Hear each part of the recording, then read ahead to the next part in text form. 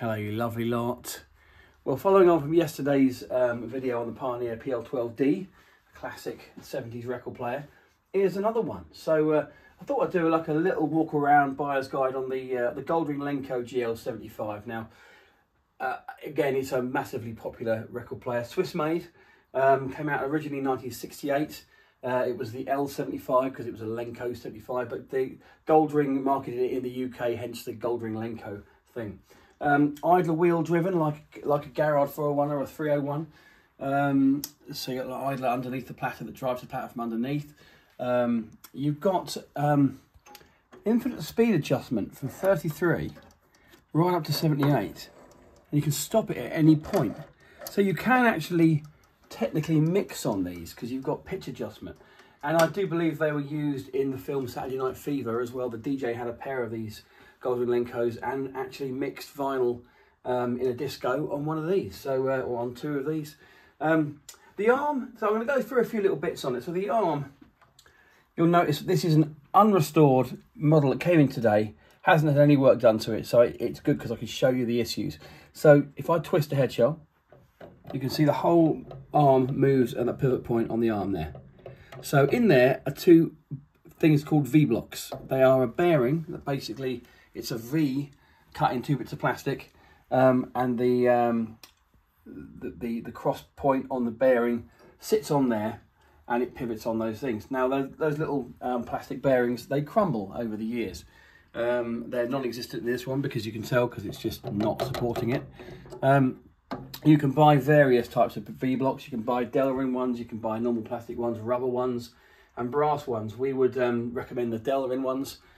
You can get them, I think, now for for about sort of 14 to 20 pounds, something like that on eBay. There's very varying amounts of them on there. I think the, the Delrin ones might not be available now, but there are 3D printed printed ones uh, that you can use. And you literally just unscrew the top uh, of the bearing housing, drop them in, glue them in, and Bob's your uncle. They work. Um, so that, that cures that, that issue. Also, when you turn these on, if they've not been used for a little while, platter doesn't really do much. It takes a hell of a long time to get uh, um, into motion. That's because that's a very, very heavy platter, um, driven by an idler. If I can get this off without using a bit of wood. There we go. So there's your idler wheel. This one has a two-hole idler. Lenco collectors, they like the five-hole idlers. Um, there is different versions of the plastic one, which is normally a bit noisier. This has the two-hole one, which is fine, but the one that people like is, is the five-hole one. Um, here is the underside of the platter, so that wheel connects with the underside of the platter and drives it. Now, over the years, you see this has got fingerprints on and stuff, a bit of grime. They get a, a bit grimy. If you um, use very, very fine wet and dry, um, sort of 640, and just give the surface of that a little bit of a uh, a buffing up. Um, it helps to grip the idler. Also clean the idler edge with isopropyl alcohol. Um, so everything's nice and clean and a new surface and that will kick in nicely and uh, it'll drive it with some torque.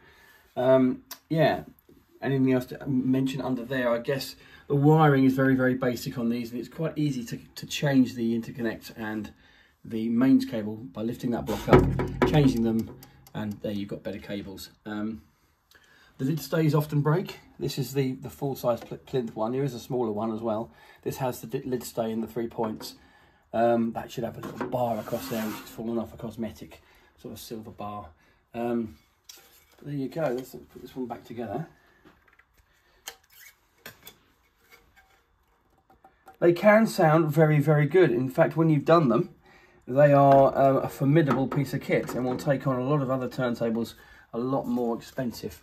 Um, there is various um, websites you can visit. One of the best one is Lenco Heaven.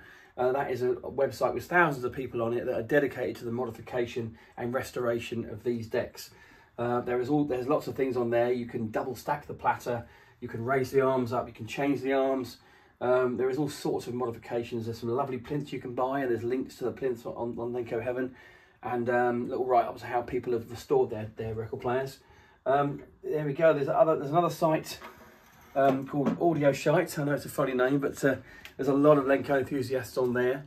Um, and if you see a guy um, advertising one of these for sale called Ben Rombo, then yeah, buy one of Ben's because Ben uh, restores a lot of them. In fact, he gets a lot of me, uh, and he does a very very good job on those. So yeah, the Lenco, a formidable record player really, once you've spent a little bit of time and TLC on it. Um, nice things, you can buy new lids as well. Oh, yes, I can mention that actually is the Audio Technica lid you can buy off eBay with a slight blue tinge that fits perfectly on these. So a lot of them have Audio Technica lids. Um, there you go. Hope that wasn't too rambly. Um, when we get some more interesting bits, I'll, I'll talk you through a few other things. Cheers, thank you.